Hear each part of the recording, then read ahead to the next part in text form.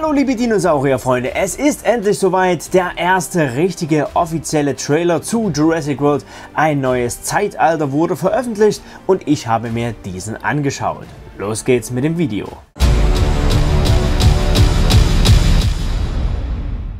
Ja, das lange Warten hat endlich ein Ende. Nachdem wir im Herbst den Prolog-Trailer zu sehen bekommen haben, hat jetzt Universal den offiziellen richtigen Trailer zu Jurassic World ein neues Zeitalter veröffentlicht. Mich hat der Trailer jetzt ein wenig überrascht, denn ich war gerade in ja, Umbauarbeiten hier im Studio zugange, als dieser Trailer herauskam. Daher kommt auch das Video jetzt hier ein klein wenig später.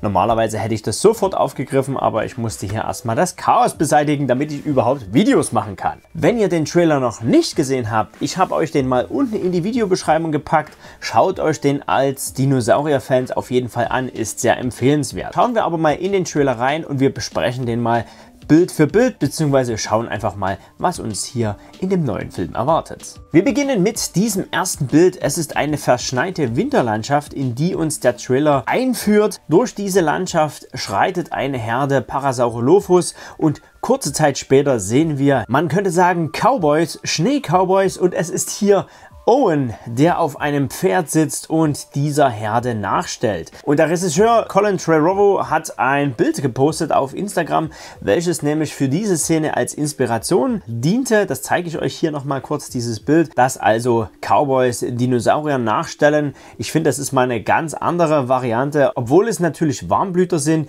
muss ich sagen, ist es sehr ungewohnt. Also ich bin halt Dinosaurier in tropischer Umgebung gewöhnt und ich muss mich erstmal an dieses, ja, Bild gewöhnen, Dinosaurier in Schneegebieten. Offensichtlich gelingt es auch Owen Grady hier einen der Parasaurolophus zu fangen. Das zeigt also, dass Owen immer noch Ambitionen hat, die Dinosaurier ja in gewisser Weise zu zähmen oder eine gute Verbindung zu ihnen aufbauen kann. Parallel zu dieser Intro-Sequenz in dem Trailer hört man die Originalstimme von John Hammond. Ich habe richtig Gänsehaut bekommen, als ich diese ja, zarten Worte von diesem ja mittlerweile verstorbenen Schauspieler beziehungsweise auch im Film beziehungsweise im Franchise ist John Hammond ja ebenfalls verstorben gehört habe. Und ich muss sagen, ich habe mich richtig gefreut, dass man hier die originalen ja, Audiosequenzen aus Jurassic Park verwendet hat. An einer Stelle hört man allerdings, dass es nicht komplett die originale Stimme von John Hammond war, da hier die letzte Sequenz, also der letzte Satz, den John Hammond sagt, das Leben findet einen Weg, hier von einem anderen Synchronsprecher verkörpert wurde. Wenn man eben genau mal die Ohren spitzt, dann hört man, dass es da einen kleinen Unterschied gibt. Aber ich muss trotzdem sagen, es haben sie gut gemacht. Also es fällt kaum auf, dass es ein anderer Synchronsprecher ist. In der nächsten Szene sehen wir ja wahrscheinlich Holzfäller bzw. eine Art Baustelle.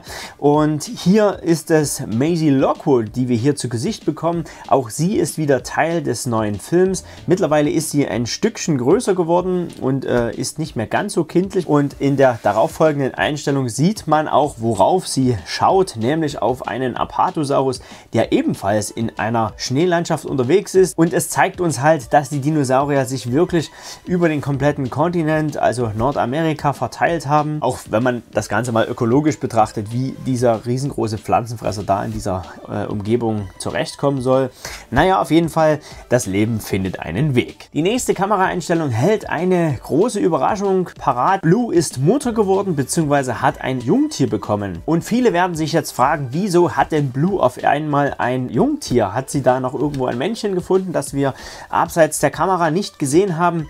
Nein, es wird wahrscheinlich die Parthogenese sein, das heißt die ungeschlechtliche Fortpflanzung. Diese gibt es auch in der realen Tierwelt. Zum Beispiel kenne ich das von Stabheuschrecken. Da können sozusagen auch weibliche Tiere ohne die Anwesenheit von Männchen Jungtiere gebären und offensichtlich hat Blue diese Fähigkeit entwickelt. Aus den Leaks zu den verschiedenen Spielzeugen, die unter anderem auch von Mattel veröffentlicht werden, wissen wir, dass dieses Tier auf den Namen Beta hört. Die beiden Blue und Beta stapfen hier durch die ja, Winterlandschaft. Ja, es ist sehr eigenartig anzusehen. Ich muss einfach so sagen, es ist komisch, äh, Dinosaurier im Schnee. Aber ich denke mal, man gewöhnt sich an das Ganze. Und die beiden treffen hier auf Owen und Maisie.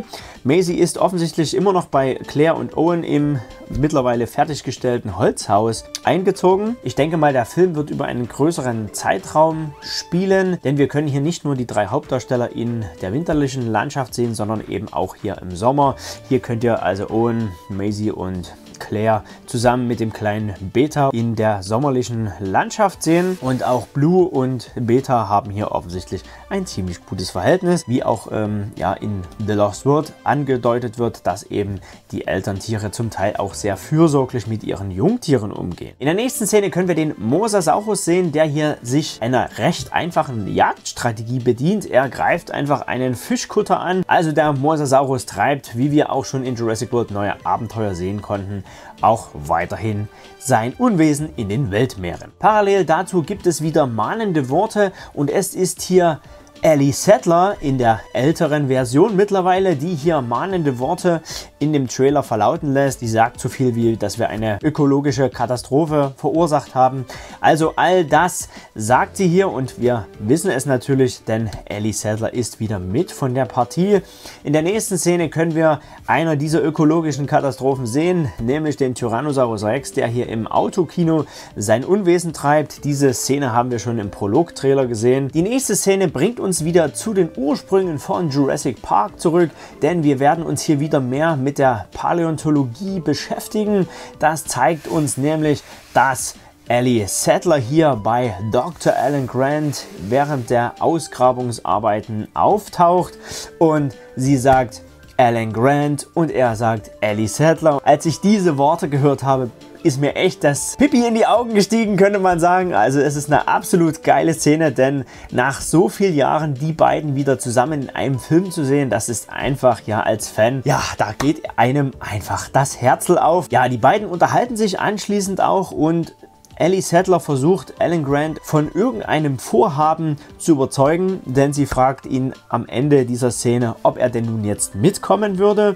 Ich mutmaße mal, dass es sich hierbei um die ganzen ja, Verstrickungen mit der Biosyn Corporation handeln wird. Wenn man aber in der Szene genau hinschaut, sieht man, dass hier auch wieder ein paar Easter Eggs mit eingebaut wurden. Hier bei Ellie Sattler könnt ihr sehen, dass hier an diesem Dokumentenspind ein Foto hängt, auf dem Ellie Sattler und Alan Grant aus der Szene von Jurassic Park zu sehen sind, als sie damals eben in Montana die Knochen ausgegraben haben, als dann John Hammond damals das erste Mal auf sie getroffen ist. Parallel dazu gibt es auch eine Anspielung auf den Jurassic Park 3 Film, da wir hier links unten in der Ecke die Resonanzkammer sehen können, die damals Billy Brandon mit dem, ich sag mal, 3D-Drucker hergestellt hat. Alan Grant und Ellie sind natürlich ein ganzes Stückchen älter geworden mittlerweile. Es sind gut fast 30 Jahre vergangen seit dem ersten Film und der Bart von Alan Grant steht ihm doch relativ gut. In der originalen Buchvorlage wird Alan Grant auch als Bartträger beschrieben.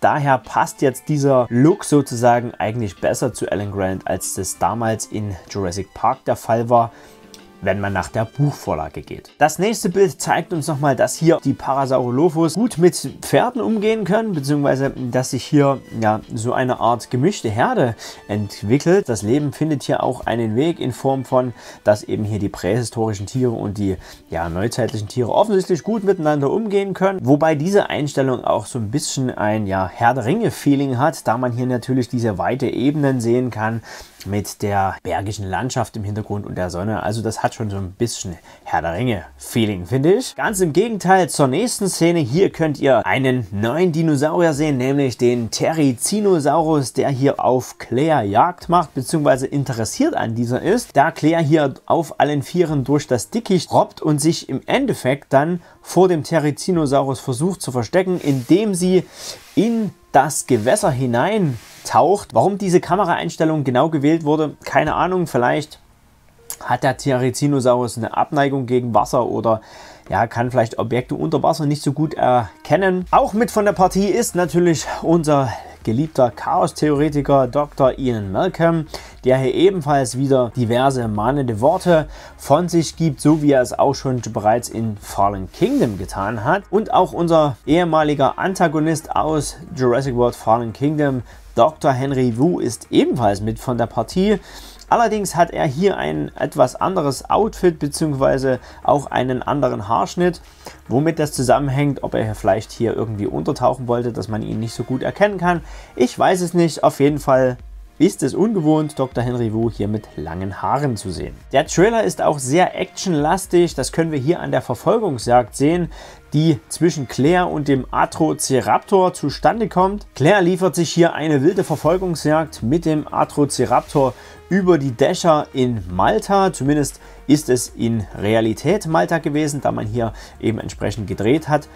Inwiefern das dann in, ja, im Film Malta ist, beziehungsweise was Malta da für eine Rolle spielt, da bin ich echt gespannt drauf, weil ich mir das überhaupt nicht vorstellen kann, warum jetzt auf einmal äh, mitten in Europa da die Atrociraptoren da unterwegs sind, obwohl sich natürlich die Dinosaurier wahrscheinlich eher in Nordamerika tummeln. Hier kommen wir jetzt wahrscheinlich zum Hauptquartier von Biosyn, zumindest mutmaße ich das so da wir schon das Logo in den Leaks gesehen haben. Das zeige ich euch jetzt nicht, aber es ist ein rundes Symbol. Das Ganze sieht hier dem recht ähnlich aus, dass es wahrscheinlich hier die Hauptzentrale ist.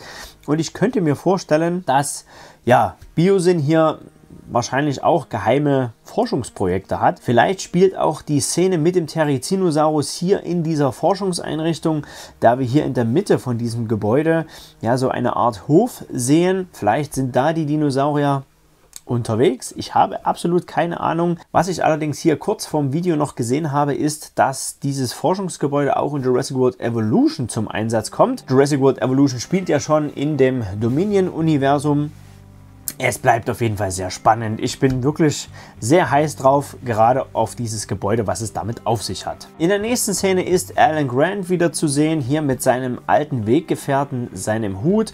Er schaut etwas bedächtig nach unten. Ich denke mal, dass er hier in einem Helikopter sitzen wird, zumindest wenn man sich die Gurte anschaut. Für mich hat das Ganze hier wieder Jurassic Park 3 Feeling da er natürlich ja schon einmal mit einem Flugzeug unterwegs war und das allerdings gerade so heil überstanden hat. Das Winterthema bleibt uns dem ganzen Trailer über erhalten. In dieser Szene könnt ihr einen neuen Dinosaurier sehen, den Pyoraptor und es ist der erste richtige Dinosaurier mit einem ziemlich ausgeprägten Federkleid. Wenn man sich äh, im Hintergrund die beiden Personen anschaut, sieht man, dass es sich hierbei um Kyla und den und Grady handelt, die hier ja schon im, im angeteaserten Bild zu sehen waren. Also Colin Trevorrow hat ja das Bild schon entsprechend angeteasert. In dem Video hatte ich schon spekuliert, gegen wen sie da kämpfen könnten. Jetzt wissen wir es. Es ist der Pyoraptor. Und ich muss sagen, ich hatte immer ein wenig Bedenken, wenn man so die allgemeinen Darstellungen von Dinosauriern mit Federn sieht, dann wirken sie meistens relativ, ja, wie soll ich sagen, kükenhaft, sehr vogelartig, aber man hat einfach nicht so Furcht, finde ich, vor so einem Küken mit Federn. Die Designer von Jurassic World haben allerdings hier richtig gute Arbeit geleistet. Der Pyoraptor sieht wirklich sehr bedrohlich und gefährlich aus. Die Easter Eggs zu den vorangegangenen Filmen reißen auch im Trailer nicht ab. Ihr könnt hier in dieser Szene Dr. Ellie Settler sehen, wie sie A, erstmal in einem ziemlich ähnlichen Outfit wie in Jurassic Park gekleidet ist, also ein blaues Top anhat und darüber ein Hemd, was vorne zusammengeknotet ist. Das hat schon ziemliche Ähnlichkeit. Wartet. Hier seht ihr Ellie Settler mit dem roséfarbenen äh, Hemd und hier eben im neuen Trailer. Ist das etwas dunkler gefärbt, hat aber doch schon eine gewisse Ähnlichkeit. Die Easter Eggs sind auf jeden Fall vorhanden und wenn das nicht schon genug wäre, dann hat man natürlich nochmal ein Easter Egg draufgepackt, denn schaut euch mal an, wie sie die Brille abnimmt, denn genau so bzw. ziemlich ähnlich hat auch Alan Grant in Jurassic Park seine Brille abgenommen. Wenn man sich die Historie der Jurassic-Filme anschaut, dann fällt einem auf, dass natürlich immer Kinderdarsteller mit von der Partie waren. Die Filme richten sich natürlich auch an Kinder. Aber auch in der nächsten Szene sehen wir zwei Kinderdarsteller, die hier offensichtlich vor etwas wegrennen. Ob das dahinter Vögel sein sollen, also ein Vogelschwarm, der im Zuge des, ja, des Schreckens sozusagen auch aufgescheucht wurden, das weiß ich nicht. Vielleicht soll es auch irgendwas anderes sein, das lässt sich im Trailer nicht so richtig ableiten. Ich finde es aber gut, dass man hier eben wieder Kids mit einbaut, obwohl sie im weiteren Verlauf des Trailers nicht nochmal zu sehen sind. Ja, auch Owen Grady hat wieder einen sehr eindrucksvollen Auftritt, denn er darf wieder ein Motorrad reiten. Ähnlich wie er es auch schon in Jurassic World gemacht hat. Und wenn man sieht, vor was er wegfährt, ja, dann äh, bekommt man da schon ein wenig mit der Angst zu tun. Es sind hier die Atrociraptoren, zwei Stück gleich an der Zahl. Ich denke, bei diesem Anblick dass diese Atrociraptoren wirklich die Badasses in diesem Film sein werden. Also ich denke mal, dass man hier einfach ja diesen Schrecken, den die Velociraptoren in den Jurassic Park Filmen hatten, durch diese Atrociraptoren entsprechend wieder hineinfügen will oder wieder hinzufügen will, was ja die Raptoren einfach ein bisschen verloren haben, dadurch, dass Owen Grady die Tiere gezähmt hat, finde ich, haben die Tiere ihren Schrecken verloren.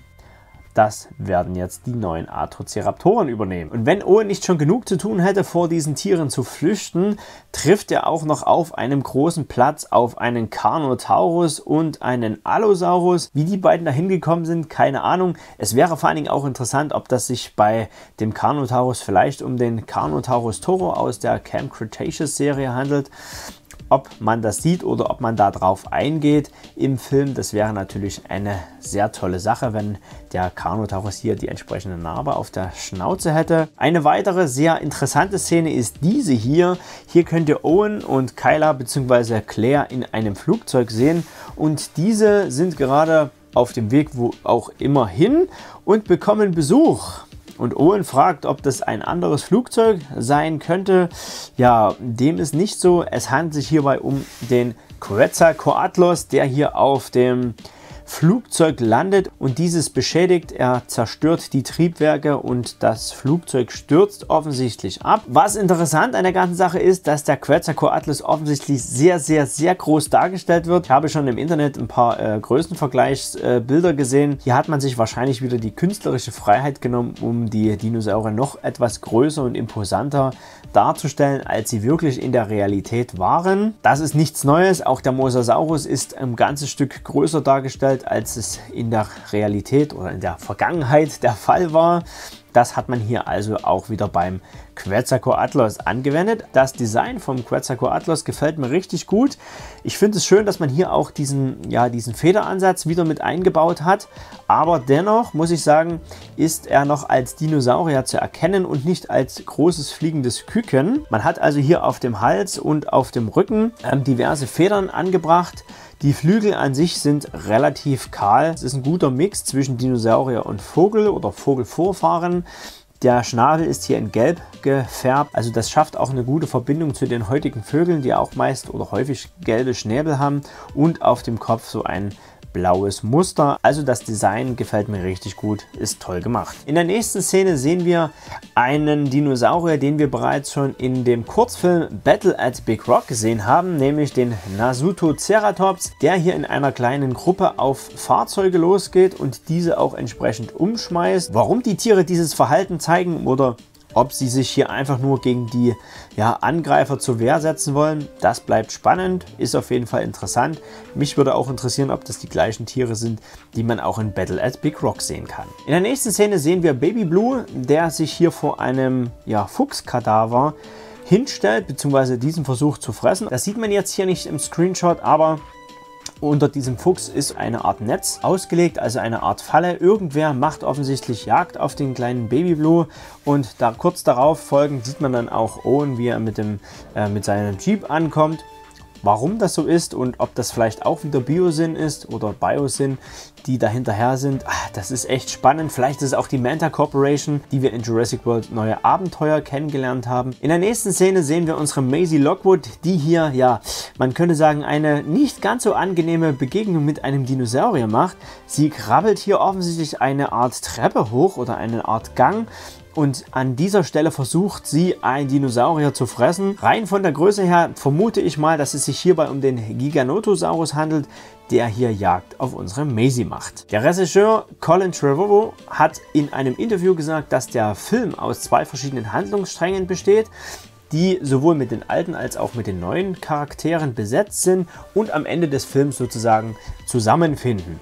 Und aus diesem Grund denke ich, dass dieses Bild hier das Ende des Films darstellt. Hier könnt ihr Owen Grady mit Maisie und Dr. Alan Grant sehen, die sich hier in der Dunkelheit bewaffnet haben. Vor welchem Tier sie sich hier versuchen zu verstecken, beziehungsweise gegen welches sie hier kämpfen, das lässt sich leider hier aus diesem Bild nicht ableiten. Aber es ist sehr schön, dass man hier in dieser Szene eine Verbindung zwischen den alten und den neuen Filmen herstellt und das Ganze hier eben entsprechend zusammenführt. Nach gut 30 Jahren hat auch dieser Dinosaurier einen einen neuen Auftritt, nämlich der Dilophosaurus, der hier in Gestalt und Färbung ein wenig sich vom Original unterscheidet, trifft hier auf unsere Claire, die natürlich nicht ganz so begeistert ist von dieser Begegnung, aber es ist natürlich ein absoluter Fanservice, dass der Dilophosaurus jetzt endlich mal wieder in einem Film vertreten ist. Wir hatten schon einen kurzen Auftritt in Jurassic World Neue Abenteuer. Das war sozusagen der erste Auftritt der Dilophosaurier außerhalb des Filmuniversums, aber jetzt eben in Dominion opinion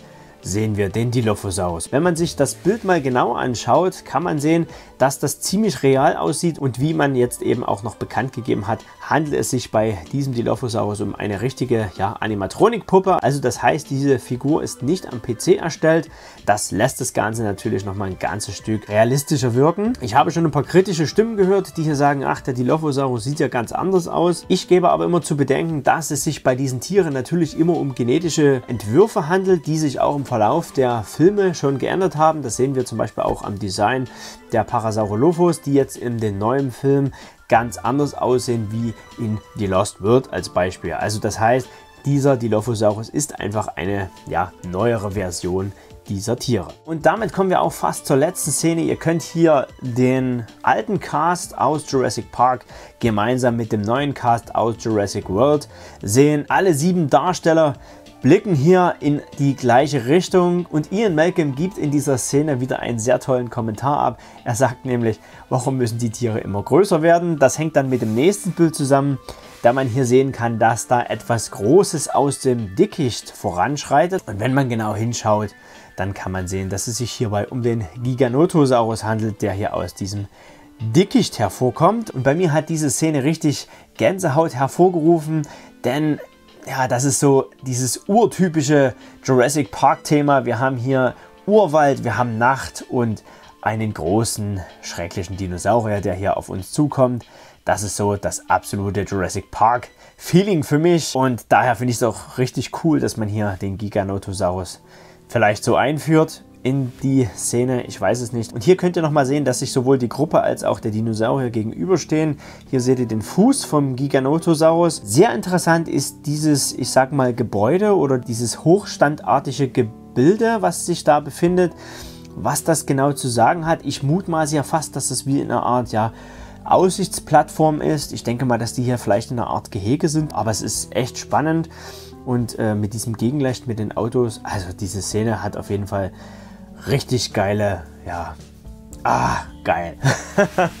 und zu guter Letzt sehen wir noch das Jurassic World Logo, hier in Deutsch ein neues Zeitalter. Und damit möchte ich nochmal den Fokus darauf legen, es wurde gesagt oder es wird gesagt, dass dieser Film der Abschluss des Jurassic Franchises ist. Das heißt, der ersten drei Jurassic Park und der Jurassic World Filme, da diese natürlich auch zusammengeführt werden. Aber es wurde auch schon gesagt, dass es auf gar keinen Fall das Ende dieses Franchises ist, sondern wie auch der Titel sagt, es ist ein neues Zeitalter. Das heißt, die Filme an sich sind mit diesem Film abgeschlossen, aber das Franchise wird garantiert weiterleben, da die Filme natürlich bisher alle immer ein großer Erfolg waren. Wenn man vielleicht mal von Jurassic Park 3 ausgeht, der nicht ganz so große Einspielergebnisse erzielt hat. Aber selbst Fallen Kingdom hat doch relativ gute Einspielergebnisse abgeliefert auch wenn es relativ viele ja, kritische Stimmen zu diesem Film gibt. Es gibt vielleicht viele Stimmen, die nicht so amused drüber sind über diesen Trailer, aber ich bin echt gehypt. Ich freue mich richtig riesig auf diesen neuen Film, auf die komplette, ja vor allen Dingen auf die Zusammenführung von den, ja, aus dem Cast von Jurassic Park und World, wie sich das Ganze entwickelt, wie das Ganze zusammenspielt und natürlich auch auf den neuen Star in dem Film, den Giganotosaurus. Ich bin hier schon echt ja, sehr aufgeregt, könnte man sagen. Was haltet ihr von diesem neuen Film? Schreibt mir das doch gerne mal unten in die Kommentare. Schreibt gerne mal rein, was euch gefallen hat und was euch nicht gefallen hat. Ich bedanke mich ganz herzlich für deine Aufmerksamkeit. Bis zum nächsten Mal, wenn es wieder heißt Dinosaurs, Toys and Merchandise. Macht's gut, euer Dino-Nerd. Tschüss.